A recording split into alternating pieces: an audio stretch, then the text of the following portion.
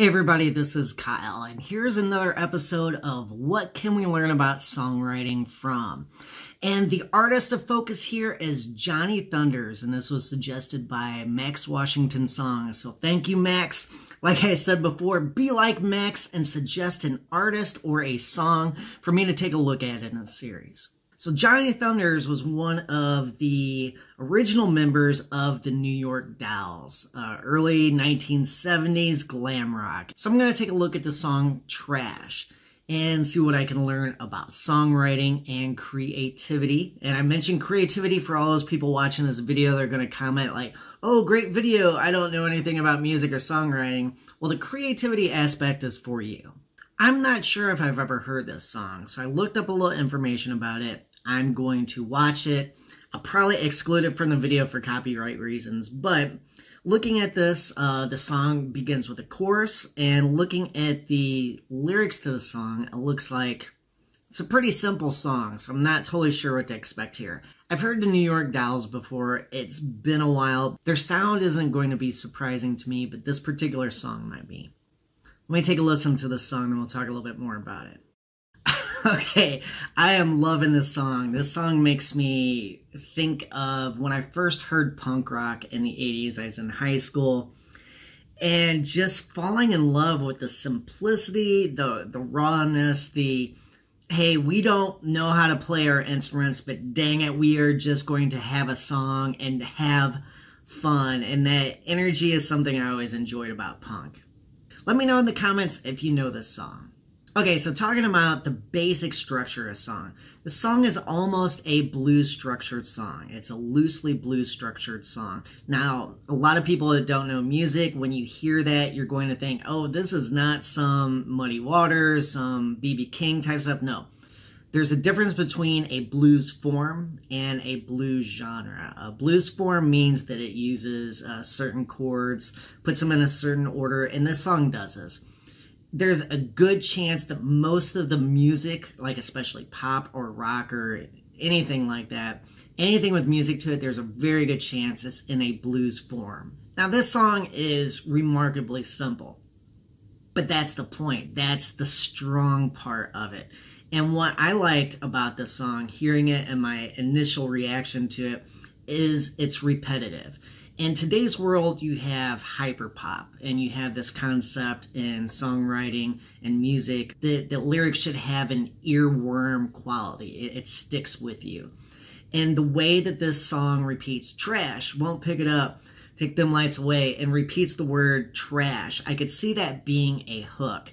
Now, I haven't seen a whole lot of live footage of the New York Dolls or anything like that, or, you know, know a lot more about them. The idea of a hook in music. The hook is where an audience sings along, and the chorus is something different. Like I said before, a chorus is often the title of the song and repeated. You got that word trash, and again, you got that. As I'm editing, I thought I should add that the word trash is a hook. They're talking about fans they're talking about, hey, you come to a New York Doll show, you dress up, you do something different, you're unusual. People are going to call you trash. So that word becomes this badge, you know, kind of like Slipknot fans call themselves maggots, ICP fans, juggalos, etc., etc. And you have that great old school rock strategy the, the chorus, the title, and the hook. It's all the same thing. And think of it like this if you are trying to sell something, it's repetitious. It's simple. Anybody can jump in and sing along. And because of those things, it's predictable. It drives your point home. You could walk away after hearing a song one time and someone say, Hey, what was the song you were just listening to? And you say, I don't know. It says trash over and over. Hmm, I wonder what that song is called. That is a brilliant move. Now, in basic terms of creativity, if you are trying to make an idea infectious, those ideas of simple repetition, that is very strong. Let's take a closer look at the song. I didn't like what I said about the lyrics whenever I was editing this, so here is some other thoughts. Looking at it, the lyrics, they're trying to express in a passionate way just being alive. Say things like, don't ask me if I love you. And it's like, leave me alone. I, I don't know if I love you or not. It's like, I don't want to get attached. There's all kinds of implications with that line.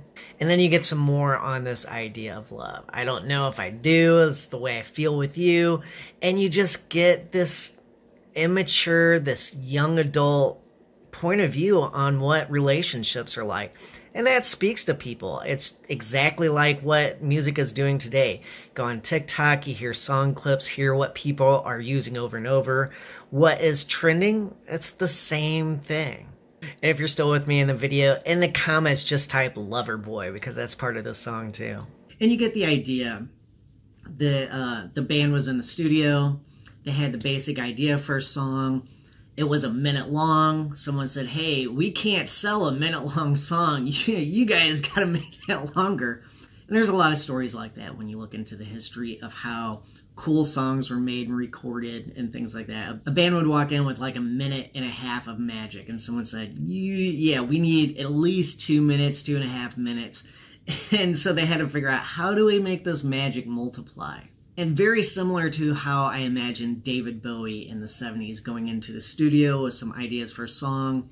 The band is jamming and he does the words. He realizes, hey, we need some more content here. And you start to riff, you start to improvise a little bit, and you fall into this fun, repetitious cycle.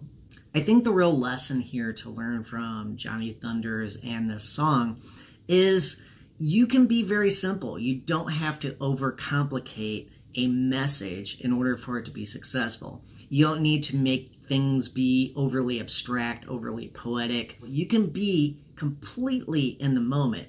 And whenever I hear this song, and I might be totally wrong, it's like I'm transported in time. It's like I get to go back to early 70s New York. I get to feel the energy of what it was like to be there. That's entirely different than getting like a narrative description and that's why I think the value of music and looking at songwriting is this aspect that you can be transported. And I think that's what is very cool about songwriting and other types of creativity is the ability to transport the audience, a viewer, a listener, etc., to transport that person from one place in time to another place in time. It doesn't need to follow any rules, and that's the coolest part. If you have an idea for an artist or a song for me to take a look at in this series, please let me know in the comments. Quick thank you to my patrons for making videos like this possible, and I will see you next time. Throwing us on at the very end so only diehards will catch it. I keep thinking about having like a little online class and by a little something for like five to ten people like a Zoom session or something like that, talking about songwriting, sharing ideas, and things like that. Let me know if you'd be interested. My email is on my About tab, and send me a message. Let me know.